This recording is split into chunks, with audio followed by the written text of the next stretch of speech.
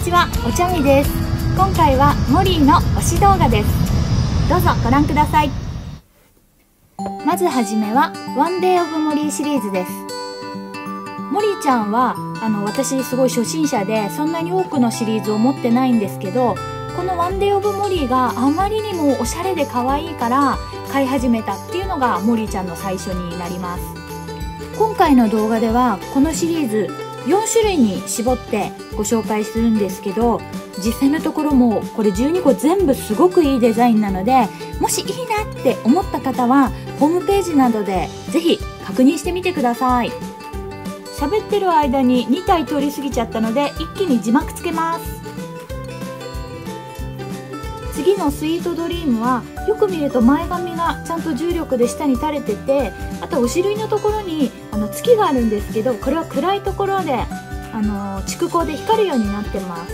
ちょっとライト消したところも付けするのでほんのりちょっと見えますでしょうか？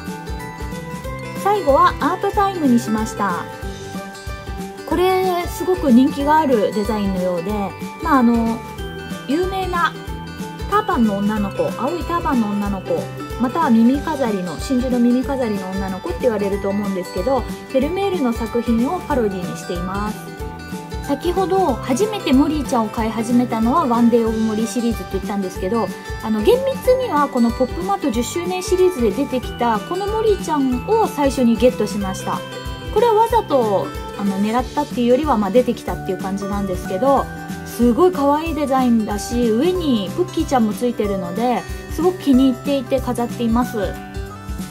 ポップカースーパートラックシリーズのこのモリーちゃんもやっぱりなんかすごいおしゃれ感があるなって思っててあの甲羅缶みたいなまあ甲羅缶なんだと思うんですけど入ってるモリーちゃん。あの後ろからジェット気流のようにコーラが吹き出してるっていうのも可愛いかなと思います。の表面の光沢感とかもすごく綺麗なのでちょっとアップにしてみました。是非ご覧ください。次のカーカーシリーズももう全部いいんですよねデザインが。なのでこれあの選ぶのすごい迷ったんですけどちょっとモリーちゃんの体が変わってる。まず最初はマーメイドトゥクトゥクから選んでみました。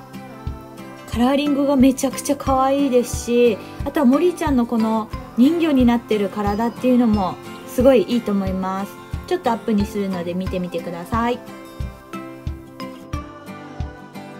この宇宙船に乗ってるモリーちゃんはあの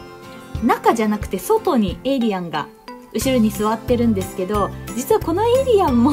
なんだかすごく可愛い肉感的なあのー、ボディになっていてすごい可愛いので全体的にとっても可愛い形になってるなと思います。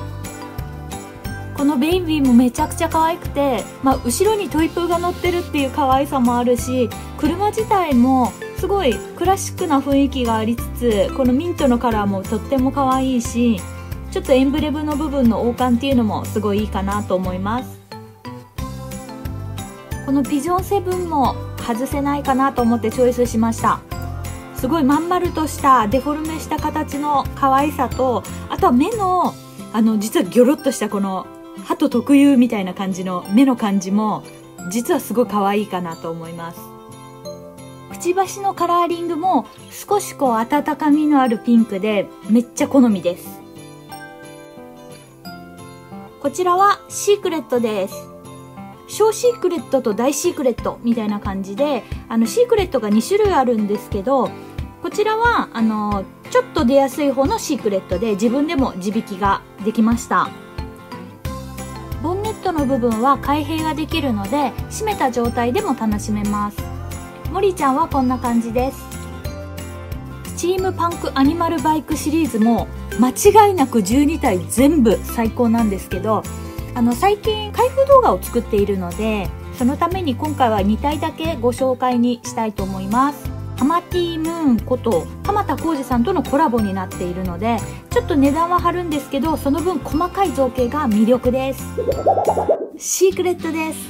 これは恥ずかしながら自分のじゃないです。お友達に貸していただきました。もう超欲しかったから友達が出したっていう時には私の方が興奮しました。ありがとうございます。貸してくれて。動画の後にお返しするので今回は特別にちょっとアップにして2週目も撮っちゃいました。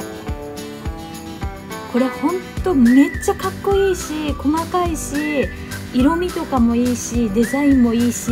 もういいことしかないぐらいもう最高ですよね。絶対後で自分でもゲットしたいなっていうふうに思ってます。かっこいい。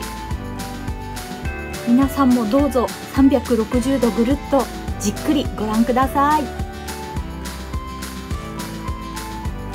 回の動画の一番最後は「ザ・イヤー・オブ・タイガー」シリーズのモリちゃんでした。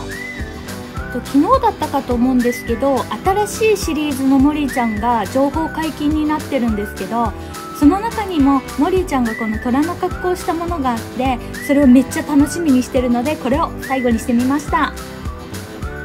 最後までご覧いただきありがとうございました。また是非次もご覧になってください。いいねボタンもよろしくお願いします。またね